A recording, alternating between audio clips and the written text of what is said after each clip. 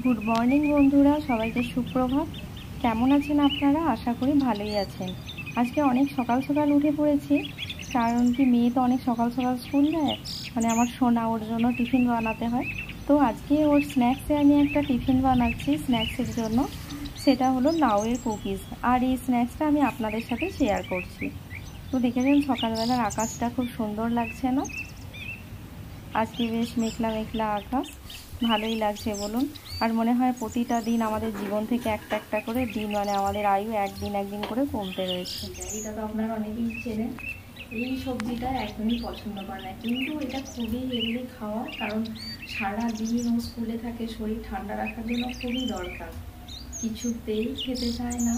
আমি সেই ভেবে ভেবে ভাবতে থাকি, কি করে এই সবজিটাকে খাওয়ানো যায়? তো সেই জন্য প্ল্যান করে আমি একটা এটা দিয়ে রেসিপি বানিয়েছি, সেটা হলো এই লাউয়ের কুকিজ। আর সেই রেসিপিটা আমি আপনাদের সাথে শেয়ার করছি। খেতে খুবই ভালো হয় আর এটা স্টোর করাও খুব সুবিধা। আপনারা ফ্রিজে রেখে স্টোর করতে পারেন, কারণ আমি এটা কম তেল দিয়ে দিয়েছি আর আপনারা যদি ছাঁকা তেলে ভাজেন, তাহলে ফ্রিজে রাখার কোনো দরকার নেই। খুব সহজেই এটাকে স্টোর করতে পারবেন। আর খেতেও টেস্টি হয় আর বাচ্চারা বুঝতেই পারবে না যে ওরা লাউ খাচ্ছে। তো চলুন দেখতে থাকুন রেসিপিটা কীভাবে বানাই। আর অবশ্যই বন্ধুদের মধ্যে শেয়ার করে দেবেন যাতে যারা খাদ্য রসিক আছে অথবা যাদের বাচ্চা রয়েছে খুব বায়না করে, মায়েরা বাচ্চা, বাচ্চাদের বায়না মেটাতে পারে না, সেই মায়েদের জন্য এই রেসিপিগুলো খুবই উপকারী হবে। কারণ সবজি খাওয়ানো খুব দরকার আর বাচ্চারা খেতেই চায় না। এইভাবে বিভিন্ন ধরনের নিত্য নতুন রেসিপি বানিয়ে বাচ্চাদের দিলে ওরা বুঝতেও পারবে না আর সবজি খেয়েও নেবে। তো সঙ্গে থাকুন, দেখতে থাকুন আমি কীভাবে এই লাউগুলো কুকিজ বানাই। আর ভিডিওটি ভালো লাগলে অবশ্যই লাইক শেয়ার কমেন্ট করবেন। আর আমার সাথে থাকার জন্য, এই ধরনের ভিডিও পাওয়ার জন্য অবশ্যই চ্যানেলটিকে সাবস্ক্রাইব করে রাখবেন, যাতে পরবর্তী ভিডিওর নোটিফিকেশন আপনার কাছে পৌঁছে যায়। আর একটা কথা বলে রাখি, সেটা আমি সব ভিডিওতেই বলছি। আশা করি শনিবার থেকে দিতে পারব, কারণ আমার অনেক বন্ধু বলেছে কি চৈতন্য টেকনো স্কুল থেকে জানেন হয়তো নিট আর যেই মানে মেডিকেল আর আইআইটির যে পরীক্ষা হয়, সেই পরীক্ষাগুলোতে ফার্স্ট সেকেন্ড থার্ড মানে খুব ভালো র্যাঙ্ক করে। আমার মেয়ে যে স্কুলের ব্রাঞ্চটা করে মানে চৈতন্য যে ব্রাঞ্চে করে, সেই ব্রাঞ্চ থেকে যারা এইবার টুয়েলভতে এক্সাম দিয়েছিল, সবাই মোটামুটি হাজারের মধ্যে র্যাঙ্ক করেছে আইআইটি প্রিপারেশনে জেইতে তো কীভাবে পড়ানো হয় আর কি ওদের সিলেবাস আমি প্রত্যেক শনিবারে আমার এই চ্যানেলে শেয়ার করব, একটা ভিডিওর মাধ্যমে। প্রত্যেক শনিবার এই সম্পর্কে আমি একটা করে ভিডিও দেবো। তো সেই জন্য বলছি, বন্ধুরা, আপনাদের না লাগলেও কারও না কারও উপকারে লাগবে। আর কারও কারও হয়তো গ্রামে এমনই ফিনান্সিয়াল কন্ডিশন যে যাদের পক্ষে একটা কোচিং নেওয়া সম্ভব নয়। আমি যদি ছোট ছোট করে শেয়ার করতে থাকি, আর আপনারা যদি আমার ভিডিওটা শেয়ার করে দেন, হয়তো কারও না কারও কোনো উপকারে লাগবে। তাই বলছি, আর কোনো ভিডিও দেখেন বা শেয়ার করেন, না করেন, অন্তত এই টাইপের ভিডিওগুলো প্লিজ প্লিজ যেগুলো ইনফরমেশনাল ভিডিও আমি করি, সেগুলো প্লিজ প্লিজ প্লিজ একটু শেয়ার করবেন যাতে কারও না কারও কোনো উপকারে আসে। তো দেখ, দেখতে থাকো। আমি যে এখানে লাউটাকে কেটে নেব, এই গোটা লাউটা তো নেব না, কারণ আপনারা সবাই জানেন আমার ফ্যামিলিতে মাত্র তিনজন মেম্বার আর আমার হাজব্যান্ড সুগারের রুগী। এটা যেহেতু মিষ্টি দিয়ে করব, তো খাবে না। তাই সোনার ও টিফিন বক্সে স্ন্যাক্সে দেবো, আর কয়েকটা বেঁচে যাবে, ওগুলো আমি সকালে ব্রেকফাস্টে খেয়ে নেব। তো সেই জন্য কি করলাম? প্রথমে লাউটার অর্ধেকটা কেটে নিলাম, নিয়ে খোসাটা ছাড়িয়ে নিচ্ছি।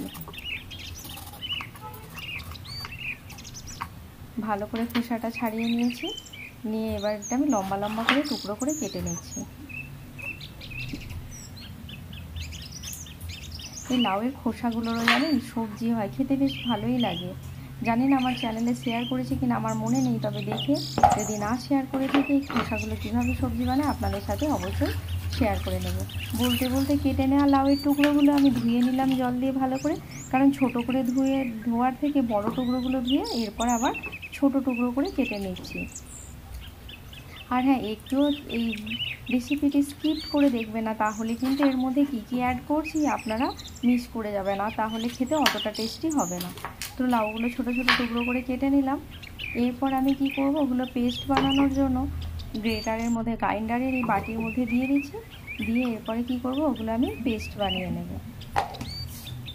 খুব লিকুইড না হলেও হবে তো চলুন, আমার এই গ্রাইন্ডারে বা, ছোটো বাটিটাই ইউজ করি, কারণ অতগুলো রাখার মতো জায়গা আমার রান্নাঘরে নেই। তো এই একটার মধ্যেই আমি সব কিছু করি। মানে সবগুলো বের করে যদি রাখি, আমার যে রাখার জন্য খুব সমস্যা, ওই জন্যই একটার মধ্যেই করে নিই। আর তিনজন তো মেম্বার বলতে বলতে লাউগুলো পুরো আমি যে টুকরোগুলো কেটে নিয়েছিলাম, ওগুলো ভালো করে পেস্ট করে নিয়েছি তার সাথে এক বাটি চিনি দিয়ে দিয়েছি। আর এক বাটি চালের গুঁড়ো। চিনির পরিমাণটা এক বাটি থেকে একটু কম দিয়েছি।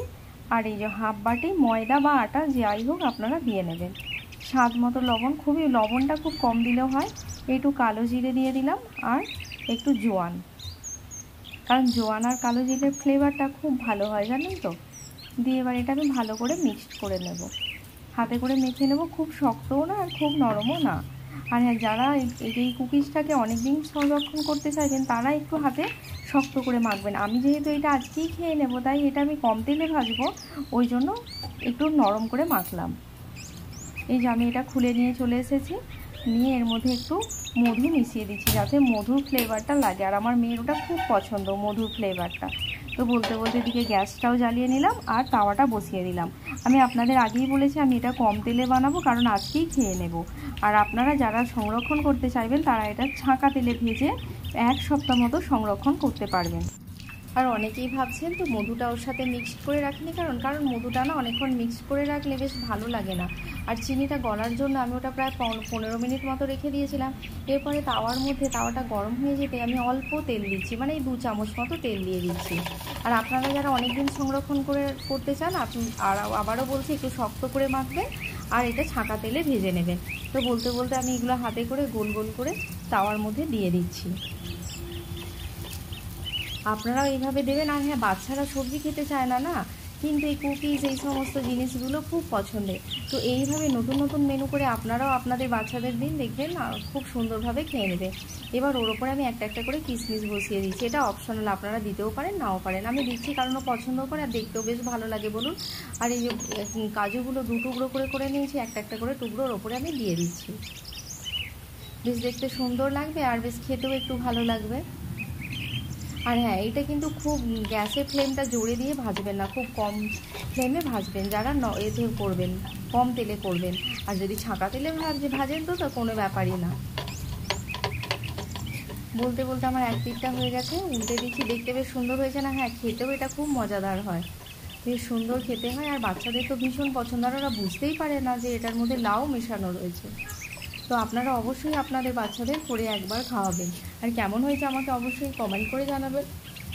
আর বলেছিলাম না, আমার মেয়ের স্কুল থেকে এনআইটি আইআইটি আর মেডিকেলে প্রায় বেশিরভাগ বাচ্চারাই যারা সি ব্যাচ নেয় চান্স পেয়ে যায়।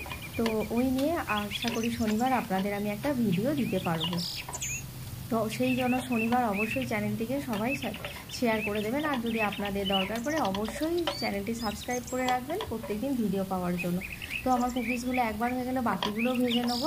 ভেজে এবার মেয়ে টিফিন বক্স প্যাক করে দিয়ে দেবো, ওকে স্কুল পাঠিয়ে দেবো, কারণ খুব তাড়াতাড়ি গাড়ি চলে আসে। তো আপনারাও ভালো থাকবেন, সুস্থ থাকবেন। দেখা হবে আগামীকাল অন্য একটি ভিডিও নিয়ে। দেখার জন্য